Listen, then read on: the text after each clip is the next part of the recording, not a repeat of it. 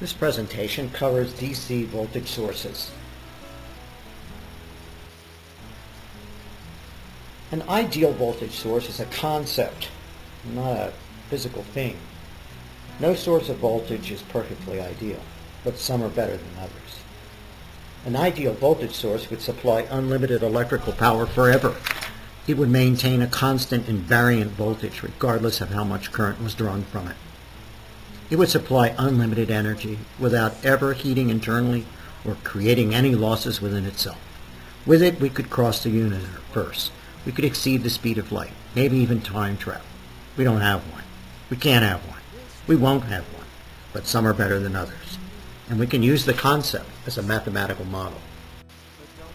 This is the symbol for an ideal voltage source.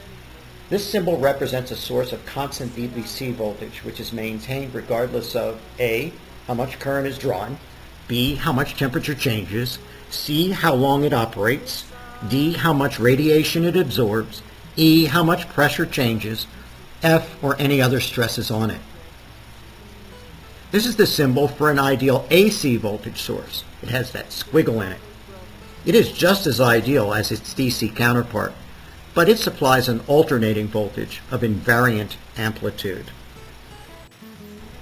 The non-ideal voltage source can be modeled using an ideal voltage source and additional components which reflect its actual performance characteristics. These additional characteristics correspond to the real physical nature of the source. A real source has internal resistance. This can be modeled using a resistance usually small in value in series with the ideal source. A real voltage source has a voltage tolerance which can be reflected as a percentage of the nominal source voltage. Some real voltage sources, such as batteries, lose energy with time. This is due to chemical recombination and degradation. This manifests itself as an effective parallel resistor between the terminals of the source. The, source voltage is also always a function of temperature. This can be modeled by specifying a temperature coefficient usually in percent per degree or parts per million per degree.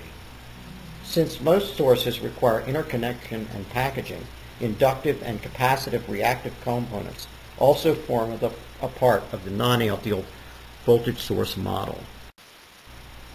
Here's a simple non-ideal voltage source model.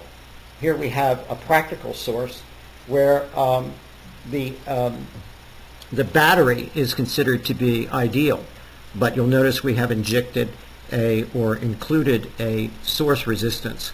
This model suffices for most DC applications if the values of peripheral resistors and other parameters are specified or given.